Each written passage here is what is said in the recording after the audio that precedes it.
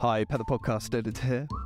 As a business owner, it can feel like the weight of the world is on your shoulders. With employee pay, contracts, and deadlines all looming, it's enough to overwhelm even the strongest of business minds.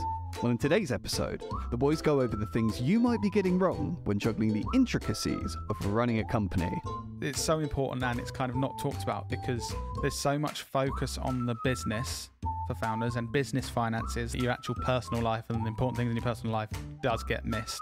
And Lloyd lets you lucky anchors in on his own personal list of things he does to improve his mental health. I love the list of things that you've just shared that impact your mental health in a positive way, and I want you to share it with our anchors. Okay. Anchors. These are things that have positively affected my mental health in the last two years. Now, before we dive in, we'd like to take a second to thank our sponsors, Adobe Express. Adobe Express allows you to quickly and easily create standout social graphics, logos, flyers, and more on web and mobile. Click the link in the description to try Adobe Express today. Right, let's get stuck in. This is episode 144 of the Business Anchors podcast. We're just a couple of business anchors. Welcome to the Business Anchors podcast. This jingle is slightly too long. This jingle is slightly too long. What do founders miss when growing their business, and what do we mean by miss? What we mean by miss, Dan, is um, there are loads of things online about like tips for founders, and it's all like increase your revenue, and this is how you get uh, funding, and this is how you get investment, and all the typical stuff. But what we're trying to cover here is the stuff that doesn't get talked about that's really important for founders of businesses. And I guess it's stuff from our experience and from um, like information outside where we've been like, oh, yeah, that completely makes sense. No one talks about that. And it's really, really important. Yeah. And the first one, um, personal finances. So this is a bit of a weird one to talk about, but uh, I guess personally, looking at me, I've never been good at kind of budgeting, and uh, I've ne- I never really have set my own personal budgets for things. Mm. I guess. Whereas looking at you, I would now say that you are one of the best people at budgeting and really understanding your personal finances that I sort of know. Yeah. And I think it'd be interesting to dive into that. Like, why is that? And what's the backstory? And what Mm. can anchors take away from that? Well, so firstly, talking about personal finances, I think it's because it's so important and it's kind of not talked about because there's so much focus on the business for founders and business finances that quite often uh, your actual personal life and the important things in your personal life does get missed. Um, but avid listeners of, uh, so all the anchors out there will know that Lloyd, uh, don't want to talk about third person. L- little Lloyd uh, was very bad with money um, and had to learn the hard way and um, got in a lot of debt and stuff when I was at university and things and Mm. learnt those lessons. And that's why I'm, s- I think, why I'm so good with kind of financial planning and stuff like that now because I kind of you Mm. know when you have to go through tough times Yeah. and you learn things like my tough times was spending too much on vodka and Domino's as we discussed in the last episode I was going to say, I feel like this is like a Diary of the CEO episode. Yeah. Um, so that trauma, yeah that trauma being rubbish at finances, tell me how that impacted you, Yeah. Lloyd, and what, what happened? Yes, that really did impact me. And I suppose uh, as a takeaway for um, how I think founders can learn from what I do, something I think, I mean, you might think this is really geeky and weird, Hmm. but I have planned my finances uh, on a massive spreadsheet until I'm 99. Wow.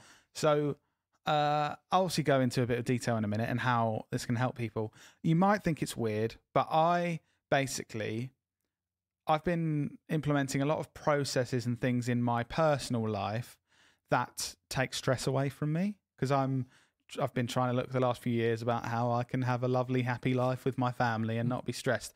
And one massive stress I think for almost everyone is like finances and making sure that in your life you and your family are financially okay. Makes sense. Um, so really sad, but I've got a massive spreadsheet that covers every year from I think I started it when I was maybe 28. I'm 33 now. Mm. And each year it's got what I plan in various categories how much I plan to like save or invest or different things, uh, what my net what that will mean my net worth is, hmm um, and how that will change over my life. And obviously, that's designed to plan so I can retire hopefully at a good age where I'm still young enough to enjoy retirement if I want to, or kind of semi retirement if I want to, and to make sure that financially my family is stable. And because I want to live a very long life, make sure that myself and my, my wife are financially stable until we're like 100 years old. Might not need it. Yeah. Um, do you want to know what I plan? Go on. So, um, that was a long get for a podcast. um, so, the different sections. So, one is pension. So, Mhm. I plan what I want to put into a pension every year, um, and kind of work out if if your pension got average returns like they do, like they have done in the past, how much will that pension pot will be be worth? And I've kind of when we were earlier in the business a few years ago, I was putting hardly anything into a pension because if you're earning less, then there's not as much sort of spare finance to be like, yeah, let's just chuck that in a pension because like I need to pay my bills. So that Yeah, makes no that sense. Makes sense. But so that increases over my kind of career where I hope I'll be earning more. And if I do the right things, I'll have more earning potential as I get older and more experienced and the business grows. Um, property. So I planned in the last few years to buy a property that, uh, that I live in. I'm not I'm not a landlord or anything. Um, that I could add value to, um, and then sell. And I did that with with my little bungalow. Yeah, I had. remember. So, um, I'll give you some data. Why not? Go on. Bought it for two hundred and seven thousand. Sold it uh, three and a half years later for three hundred and ten thousand. That's not bad, is it? Um, and that allows me, with my personal finances, to buy a larger, more valuable property. And the whole reasoning behind that is the earlier in my life I could own a more valuable property, the more that that will increase in value over over time. So obviously, Mhm. property in the past, using past data, has always increased in value. So if I can manage to get, uh, obviously I've got a mortgage, but get a property that's worth more, I should have more of those uh, benefits of that property value. Did you? So these different categories. Mm. Is this something that you just came up with and thought logically, I want to plan for that, or is it there some kind of resource or model that you've based this on? I basically just all, all the finance stuff I've learnt over the years from various books and stuff. Everywhere, see, it seems like the most stress-free way to live is to do the right things and spread risk. So I've already spoken about my pension and my property. Mm. So right now, I've got equity in my property, and I know if if our business failed tomorrow, it won't if I couldn't work for the next five years, I could support my family purely by selling my property Mm. for years. Yeah. So that's one way to spread risks. I'm like, I could not work for years at the moment because I've built up that Mm. equity in the property. The other thing is pension. So if if my property is worth nothing, I'm gonna have a pension pot when I stop working. So the other things going into it, crypto. Yeah. I'd say the most risky thing in all of this stuff. But I have a column for crypto. Um, I add about fifty quid each month to this pot, and I I've kind of planned on where I think that's going to go. But I honestly think it will probably be worth. A, by the time I'm in my like fifties, it will either be worth two hundred thousand or about two quid. And I suppose with this pot, I'm open to either of those. yeah. Like it's 'Cause it's so if high I was putting any spare money so that I had uh, into crypto and nothing else, I'd think what a dickhead because so high risk. like either I'm gonna have ten million or nothing. But because, like I'm saying, I'm trying to spread risk. I personally believe it's more likely it will be worth two hundred thousand, and then when I'm older, I can use that to Mm. support my family and live a nicer life. But risky. yeah. So fifty quid a month going into that. Interesting. The other one, stock market. I'm putting 150 pounds a month into the stock market, um, just adding that over, up over time, and I've used on my spreadsheet the typical returns over the long long period of what that will be worth when I'm older. Um, obviously, things go up and down. I think currently I'm down on the stock market Yeah. after all those years because we're we're um, had a kind of downturn. Mm. But unless the world completely changes and is different to the last like 200 years, Mm. that will increase in value. It's a long term thing, right? You're thinking, Um, yeah. And then I've got the typical savings, money I'm putting in a savings account. Sometimes I can do it. Sometimes I can't because Mm. things are more expensive and I have to get go to the dentist. yeah. Um, and then the final section is our business. So over the years, build like, and this is actually in my plan where the, the biggest kind of wealth builder in my lifetime for my personal Mm. finances that I'm planning. I hope our business is worth more and can earn me more Mm. when we're older. Um, and that's another column. Thank you for sharing that, Lloyd. That's okay. That's really interesting. For for anchors listening that um are listening to that thinking that sounds really good. Hmm. What's the first step? Like what sh- is is is it this planning I- process that you've done? Or Yeah. what what's the easiest first step to actually start planning? Nothing is stressful if you have a plan. So I just take that to an extreme. Like, and l- people might think it's sad, but I've planned my finances for my life. It's not all going to go to plan, but the first thing is, like, you might not want to put money in crypto or the stock market, but at least have a plan where you're like, I'm planning to put this much into my pension and my savings so that I have a plan for when I'm older that I'll be able to support myself and my family. I think where stresses come from money, and by the way, stresses come from money because a lot of things are shit and a lot of people have very tough situations they can't get out of. So I'm not naive to the fact of like the situation I'm in. I'm very fortunate of where we live in the mm-hmm. world, very fortunate that our business journey's going well mm. and, and all that kind of thing. So I'm not stupid, guys, by the way. But um, I think any plan, even if your plan, you're not putting hundreds of pounds into the stock market and you're putting £10 a month, if you can see your average returns over the next 40 years are going to mean that you can actually retire Mhm. and have some money to treat your grandchildren, I think that's far less stressful than not knowing. So I think just starting to get a plan on paper and seeing what you might need to do over time is the the starting point. Yeah. Even if it has two columns, which is like savings and pension, Mm. and there's no other columns, and then maybe you add like my sheet didn't have crypto on in when I was 28, and now it does because I added it thinking let's let's have Mm. another thing to spread risk. Probably adds more risk. yeah. Yeah. Oh, thanks for sharing that, Lloyd. That's okay. Sorry for talking loads. No, no, no, that was really interesting. Um, so moving on to the second one, mental health. Mm. And this is a bit of a tough one, isn't it? Because again, I think it's a difficult topic to talk about, Yeah. but it is something that founders miss. Or, you know, when, when you're really focused on your business, growing your business, and trying to optimize it, you Mm. kind of don't think about your own mental health because you're so focused on. Well, that Yeah. focus on growing a business takes focus away from other really important areas of your life. So, like family and uh, your partner and Health. health, looking after yourself in lots of different ways, which can then have an effect on your mental health. I Mm. think.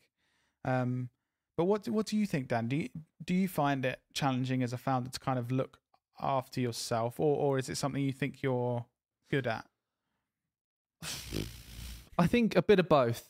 I think there's there's a few key things in my life that I ensure I keep consistent that I know impact my mental health in a positive way. Hmm. One, exercise.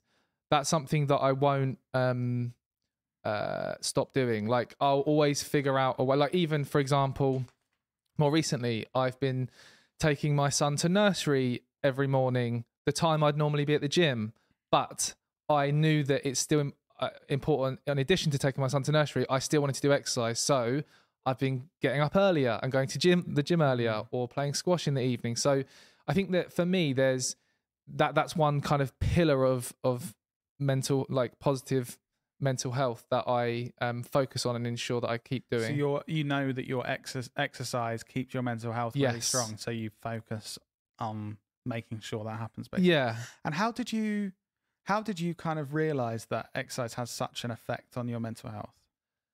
That's a good question. I guess it's the uh, over years of doing exercise, it's the positive feelings uh, after doing exercise, and also like just realizing how much of a better mood I'm in throughout the day and how Mhm. much more energy I've got. Hmm. Like, um, yeah, it's it's completely different if I've gone to the gym or exercised in the morning and I come to work. Just the uh, how positive I am, the way I think about things um, is just completely different to if I haven't done that. And So it's that positive feedback loop of like, I exercise, I know that I my mental health's good, I feel positive, I have energy, all that stuff. So you're like, like the Pavlov's dog or whatever, the bell Yeah, ring. yeah, give so me more of that. happens, You're like, yeah, coming to the gym. yeah, exactly. Another one is is sleep.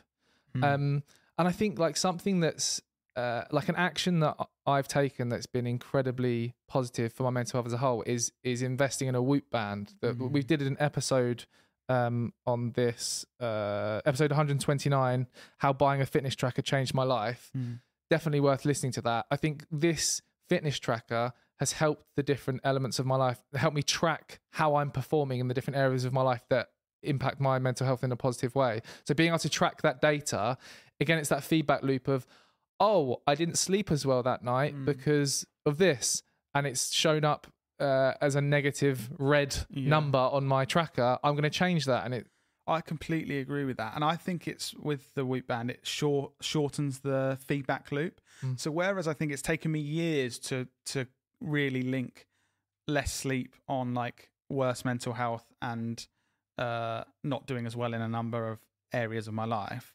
Now, like literally in the morning, you see, oh, I've had less sleep. You feel like, you know, I'm being less productive. I Mm. don't feel as happy, stuff like that. And then eh, within 24 hours, you- you're like, well, I want to get good sleep again. Mm. I think those lessons do take weeks, months, and years, whereas it shortens that feedback loop. I really, yeah. really agree with that about sleep. What about you? What- I, I think. Um, so uh, I want to caveat this to say, obviously, people have really complex men- mental health issues, and they're uh, for some people, there's not much that they can do, and it's something that is a real Mm. struggle to deal with. Outside of that caveat, Mm. I do honestly think, and this is dodgy subject material, but I think people do have a big. Most people have a bigger I- impact, can have a bigger impact on their mental health than they think they can. Mm. I think over the years, I've seen small things I've changed and and reflected on the massive positive impact it's had on my mental health. And I guess I want to spread that message that I know some people it's much more complex, but I think I've experienced changing things in my life and it having a huge effect. What on are those things? health. Tell So, us. I just, I just wrote right. This is just a list yeah, okay. but this is how random the different things I've seen over Mm. time. Some of this as well, by the way, you know, I'm a massive data nerd. Is based on like data from devices I use and my Mm. Whoop band and stuff. But these are all things that I know have had a positive effect on my mental health in recent years. Go on. Eating less processed food. Doing something every day that feels like I've achieved something. And by the way, yesterday it was sanding a door frame. So like little things that you just it, it's like a little mental tap on the head, like Yeah. "Good job, buddy." yeah. And yeah, that I've Yeah. worked out now. That has a massive effect. It could be raking some Yeah. leaves. I jet washed my pate the other day and got that Yeah. feeling. yeah, it's absolutely mental that like that can have such a. Yeah. And it might be if you're not feeling good and that currently you're just scrolling TikTok and just laying in Mm. bed and feeling a bit rubbish. Like just do just Something productive. like I'm gonna wash my car. Mm. You'd think, how why would that help my mental health? It's freezing outside. It definitely will if Mm. you're doing things like that. Um, sleeping more, we've already spoken about. Drinking less. I think don't be in denial. If you don't think drinking alcohol has any effect on your mental health, I think you're lying to yourself. Controversial. we did an episode on that as well Mm. about sobriety and our Yes. breaks and drinking alcohol. Um, buying a Kindle. It's made me read more. and it's had- so- it's had a sounds so- massive positive impact over time. Why? and because I I read more, I enjoy learning. I get a lot out of learning. I waste my time on things that aren't good for me less because I have a thing that's actually good for me to do that I relax doing and I learn things and it's a much more positive uh, behavior than scrolling TikTok or uh, I don't know eating shit. Um, planning my life. I just spoke about the whole financial thing. Mm. Like, That makes you feel good. yeah, I, I, I don't have stress in my life because I've planned things and that's taken stress away. Planning my finances, obviously, yep. Mm. Playing Lego with my son. Um, just looked at my notes. I spelt sun with a U. Um, I don't. I don't uh, play Lego with a massive burning fireball. I play it with my six-year-old son. He's great. okay. Thanks for clearing that Um, up. But this and this is something I don't think it's so stupid. I've had periods of time in Leo's life where I've been like he's been sitting playing and I've been on my phone doing stupid stuff that doesn't matter, not paying attention to him. And just putting my phone down and playing Mm. Lego with him instead of doing that Mm. is just I think for both of us Yeah. so much better. And I reflect on it. I'm like, why the fuck was I Yeah. doing that? It's so Yeah. stupid. But anyway, On that, just on that point. Mm. So, fun fact: the other night, uh, I was playing with Lego with Leo, and um, he asked me to find these tiny little gem pieces, all of them in this huge box of Lego, and pour them out on the floor. And I, I found them all with him. And you know that whole thing of doing something like you felt like you've achieved Yeah. something. I did all that, and then I got that feeling of. There you go, mate. I've, Yeah. I've done, got all those little bits. honestly, So Lego, Lego as well. You So get you get that little mental pat on the head, build, building something like I built that, like this shitty little car. But this is what I mean: small things that Yeah. you people would laugh at, but I genuinely feel they have a massive Yeah. positive impact. Um, playing chess instead of being on TikTok. Again, Mm. just very specific to my life, but something small that I feel like I'm really using my brain. It feels like I'm learning a skill and I'm not just mindlessly scrolling. Yeah. Um, standing in my garden without looking at my phone. Right. Have you, I love how specific these are. but, right, just stand outside in nature Mm. and just don't be on your phone or anything. Just look around for a bit. Absolutely mental. Makes you feel great. yeah. Um, I think that is a good one. Being in nature, I can definitely relate to um, hugging. Again, mental. I've realised, you know, they, there's some it definitely releases. there's some scientific stuff Mm. around it. It releases, but honestly, I hug like friends or family, and I can feel the little buzz. It's, that's mental. Um, but like I feel something happening Yeah. in me that's uh, like Yeah. a positive thing, and I think I am. I'm a more touchy feely person. I Mm. think I am like that, but. It's just weird that Yeah. that physical contact with someone. Yeah. Oh, this sounds sad now. oh, I need physical contact. no, But, it makes sense. um, giving to charity, exercising. I think I've written that three Mm. times now. Um, and finally, playing c- competitive sports or games. yes. I get a massive buzz and like positivity out of playing squash with you. Mm. I've recently been trying to just play new sports that I'm not even good at. Mm. Like I played Pickleball. what's it called pickleball, yeah, in a random sports center, and it's just fun. Like that little Mm. competitive nature of it and getting active. Yeah. Yeah. I do feel like that's a really good list, Lloyd. I, I think as well for like practical takeaways for anchors, listen to that list, note down those categories that Lloyd's just said, and just think of a thing that you can action in each of those categories to try and see how that makes you feel. Yeah. I think that could really have a positive impact. The on your own reason I wrote down such a random list is like I think nearly all of them are tiny things, Mm. But I've just noticed them have such a massive effect over like the last two years. I'd Mm. say, like the che- playing chess instead of scrolling TikTok thing, like that has just that makes me feel so much better mentally, Mm. um, and it's just weird. Yeah. Anyway, like I said, caveat: I know people have very complex mental Mm. health needs.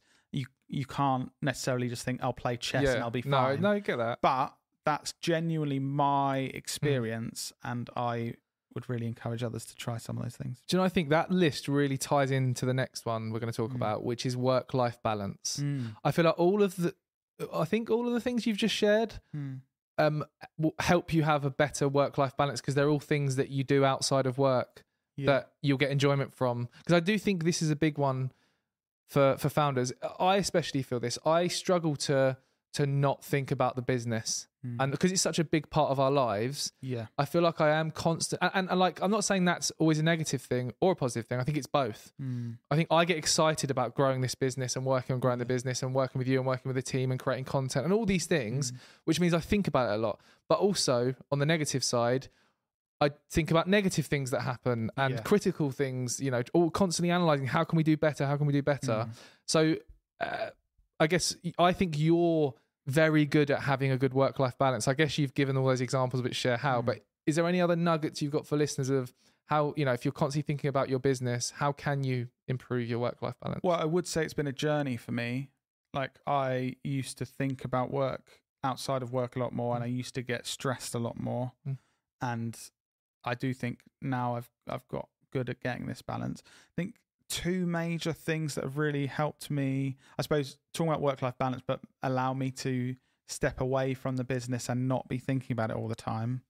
One is the just accepting the fact that you can only do the best you can do. Mm. And as long as I am putting the effort in during work hours, I accept that I can't solve everything. Yeah. I can't be perfect and I can't make sure everything's perfect all the Mm. time. Weirdly, like that seems simple, but once you kind of have the point where if you think you're stressing about something and you think, well, am I, can gonna, only do am I I going to do everything that I can do to make this Mm. better?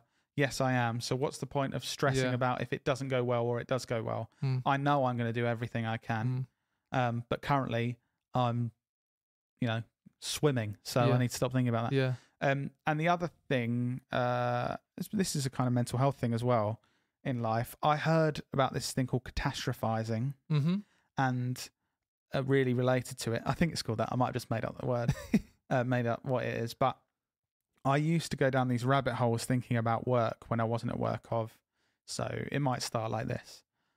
Oh, we sent those videos to that client. I hope they like them. What if they don't like them? Then so I'm thinking the worst thing that can happen. Mm. They don't like them, and then I think if they don't like them, they might not want to work with us. So I think the worst thing Mhm. that can happen, they don't want to work with us. And if they don't want to work with us, maybe they'll just ask for a refund for everything we've done, all Mm. the work we've done with them previously. Worst thing will happen is literally never happened in Yeah. the history of the business. It'd be so weird if that would happen. Yeah. And then I think if they ask for a refund, we're going to be in financial trouble. If we're in Mm. financial trouble, we have to sack everyone. If we have to sack everyone, then I don't have a job really. If Yeah. I don't have a job, then I don't have any money. If I don't have any money, I'm homeless.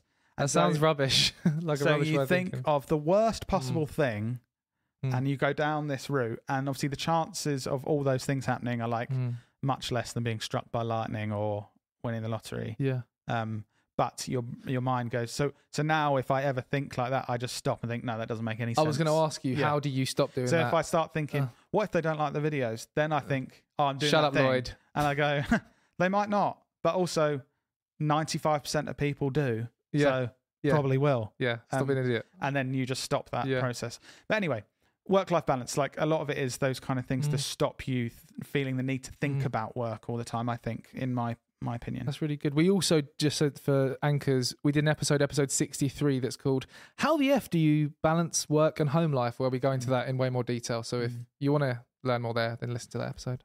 Can I make one last point? No. Yeah, you can. If you're a founder, like the business is yours, Yeah.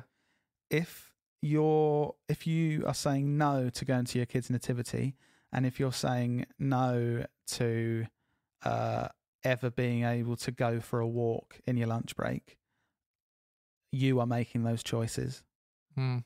Don't uh, don't say that that has to be the case because it Mm. doesn't. You're making those choices, and I have found that just saying to yourself, "I want to go to my son's nativity, so I'm going to," and putting that as a priority in your life and in your calendar, um, is going to make you much happier in the long term. It's so obvious. Like one of the benefits of having your own business should be that you have flexibility, Yeah. whereas you're you're not allowing that. If you've got your own business and you're miserable and can't do anything you want to do, um, I don't think you should have that business. Yeah. Or or you should come up with ways to But that's what that's what I mean. Like, Yeah. Change it. yeah. Like uh, this is a wake up call for anyone that's like, I've never been to my kid's parents' evening, or like I never. Oh God, I don't even get to stop for lunch. Like you're making those choices. You can stop, and it might mean you have to earn slightly less, less, for yeah. six months while you work out how to Yeah. do things, or it might or be. less forever. Yeah. Like it, Yeah. I was listening to a podcast the other day and they were talking about this, the balance of like earning more versus happiness. Where's that tipping point? yeah. You know, you could earn 30% less but Mm. be way happier and have more time or you could earn 30% more and be way yeah. unhappier and Yeah. Yeah. Yeah. Cool. Um, Number 4, Lloyd. relationships. Yeah. Mm. This is um this is a big one. I guess as a founder you uh you have to make sacrifices Mm. uh, in your life to be able to grow a successful business. Mm. Like, and that is a fact. You can't just be doing everything in your life completely brilliantly Mm. and have the biggest business in the world, the best relationships in the world. And that, yeah. I guess, relationships is something that is sacrificed over building a successful business. How do you think you're doing with relationships? I think. it sounds like a proper therapy session. no, I think um, uh, mixed. Mm, so, so for example, I think with my with my friends, mm, I think I've become a lot worse at being proactive in speaking to them and proactively wanting to meet up and that kind of thing. Um, and also, I guess since having a family, I think that's Mm. the case as well. We've got our friends WhatsApp group where we talk, Mm. but I, I, I think I used to like just randomly call people most days, like, "Hey, you're Mm. right." Whereas now I don't. I do sometimes, but I think I've got worse at that. But then I don't know if that's just a general thing that as you grow up and you get older and you have a family, yeah. you can't just constantly Yeah. do that. That's yeah. Yeah. I think it's so tough, isn't it? Like in life in general, even not as a founder, balancing, you only have so much attention and so Mm. much time. But I do think relationships are the source of the most Mm. happiness that you'll probably ever ever feel. I, and I don't mean romantic relationships, Mm. by the way. Obviously, that's one type Mm. of relationship. But I think friends, colleagues, um, Are you good at it? family. Um, I I think with my friends, I think I'm good. I, I have to admit, I've been thinking about this a lot recently. I've I've been feeling um uh, most of this episode, I've been sounding like I, I know everything and I'm really good at everything. I've been feeling a bit sad recently. I think um I uh there's there's one of my close friends and I've been making effort. So on the other side of things, I've been Mm. making effort for years now, and he just doesn't make any effort back. And I've kind of had to accept over the last few months that I need to stop because it's like it's it feels rubbish Mhm. when you don't get it the other way.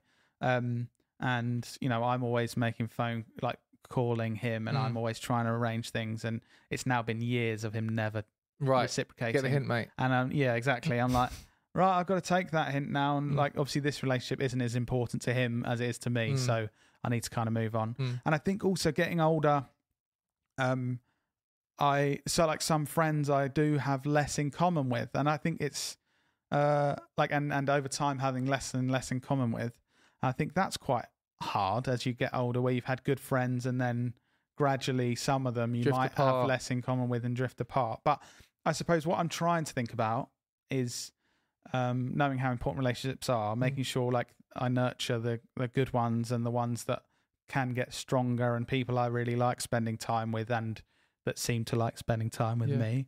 Like I I get a lot um out of like people that I spend time with here at work, like people I didn't know three or four years ago. I really enjoy spending time with them here. Hmm. Obviously, our relationships are really strong. Mm. Um, I'm really lucky to have a romantic relationship with my wife, and obviously, new relation having children, new relationship with uh children, Mm. and like my nephews, your sons and stuff. There's obviously new relationships that are getting stronger in my Mm. life as others maybe get weaker, which is a hard thing to Mm. deal with. But I do think I'm a bit rubbish with family, as in maybe not family like close family, but extended family. I think I'm quite bad at, and that's something I'm neglecting, Mm. which I'll probably regret. Mm. Sounds rubbish, doesn't it? Do something about it then, mate. Yeah, right. But finances plan till I'm 99, yeah. so yeah. I'm perfect, really. Yeah. But yeah, I suppose we've kind of talked through the challenges of it, Mm. but I think we both know that with relationships, you have to put time and effort in if Mm. you want them to stay strong. Yeah. So I think we both need to do that more. Yeah. No, good point. Should we do that? Okay. Shall we finish with one more? Yeah. Okay. Should What, we? what do you want to finish with, Dan? I don't mind. Let, let's go with let's go with um the final one which we've touched on, but I think is incredibly important. Like Mm. I mentioned, is health and wellness. Hmm. Um, I like I said, I think it's one of the core pillars for me personally through my experiences. Uh, diet and um, uh, exercise.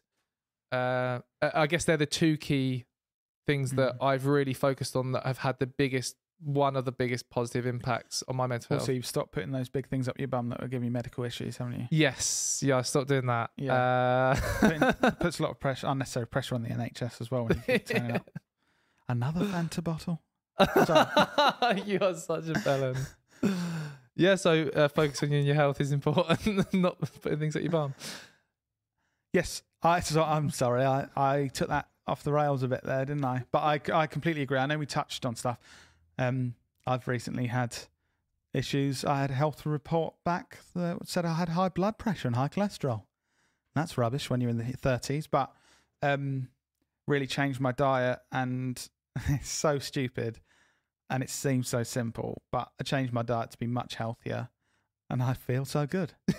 yeah. And it's like, Lloyd, you fucking idiot. Yeah. Like, oh, what surprise when you don't eat processed shit and Yeah. you eat lots of fruits and vegetables and Mm. things and feed your body what it needs Yeah. to live. Rather than Domino's and good. vodka, like at Yeah. No, no, I haven't had those for a while. but um, I know firsthand from like the last month where I've had a drastic change in my diet. I've been good at exercise Mm. for quite a long time, but diet. And immediately I feel so much better, so much more energy, and so much more energy to go into the business as well as my What- relationships and stuff. I've noticed that you've really improved that. Mhm. What for anchors listening? What was the turning point? Because I think you've been trying to work on your health and fitness and stuff for years. I think recently it's been the best it's ever been from an outsider's perspective, Mm. and how motivated you are to focus on it. What what made that happen? And tell the anchors so that they can learn from that. Um, I well, I noticed we've spoken about Whoop bands a lot. Yeah. On my Whoop band, I had an extremely low heart rate variability, which is something that they focus on as a indicator for health. And I went to my doctors a lot. I was quite concerned about this. I was looking at it, and it's like the average for someone in their 60s or something. And I was thinking, well, that's definitely not Mm. good. And went to doctors. Or the doctors kept saying, "You are so healthy," and I was like, "No, definitely not. There's something not right here." And so I went for proper blood tests and stuff. And as I said, I got that like physical report saying you have high blood pressure, you have high Mm. cholesterol on paper, basically s- things that will shorten my life if I don't change. And seeing that written down, Was enough of a shock to like it, it again, so stupid that these aren't linked. It suddenly linked what I'm eating and drinking with the health of my body. Mm. That's so simple, obviously. But on, on paper, saying that, like things Yeah. that would shorten your life, um, then really Mm. woke that up of like, oh, that has a direct effect. I can see the data. Now I'm going to change it because I want to live a long, healthy life. so Um, track. I guess doing something to like that health check, or, or even Yeah. the the Whoop band. But even getting a whoop band the band, data you- showed you. If you see that you're like, you can see other people your age. You can join groups of like people in their thirties, or Mm. There's even a small business owner group. see where you stuff rank. like that. You can see where you rank, and see if you see that you're in the bottom twenty percent. I think that's a bit of a wake up call to be Mm. like, what? My fitness is in the bottom twenty percent of people the same age as me. That shows Yeah. like on paper, not on paper because you're not a boomer, but on screen it says you're not as healthy as you should be Yeah. and it's having effects on your like yeah. body yeah so that's what changed it for me and i feel so stupid you obviously made that link in your brain at a much younger age and uh, have much healthier habits before i have woken up to it but That's really interesting, Yeah. though. Well, thanks for sharing that, Lloyd. I think you've shared lots of interesting things this episode. yeah sorry i was probably spoken No, I think it's no, it's really interesting. Um, anchors listening, if you have enjoyed this, please subscribe. If you click subscribe on whatever podcast platform you're listening to, we will pop up when a new episode is live every Thursday, yeah. uh, so you don't have to go searching for it. So, click subscribe now. What you? go to your kids nativity buy a whoop band sleep more do those four things and your life will be bloody brilliant and we'll see, you in your ears next, next week. week.